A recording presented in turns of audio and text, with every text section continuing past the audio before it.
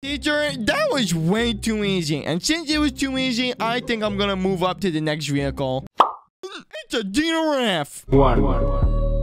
Jeffy, Yeah? where did you get the horse from? Um, I found it. The nearest stables is like 20 miles away. Yeah, that's where I found it at. I Oh, love myself a good giraffe. I can't teach you how to ride a horse, Jeffy. That's not in the job description. Why? I want to drive the horse. One thing, you don't drive a horse. It's a living, breathing animal. No, it's not. It's a vehicle. I got the Lambo horse. Want to slap its ass, Teach? Give me a good booty slap. Jeffy, that's animal abuse.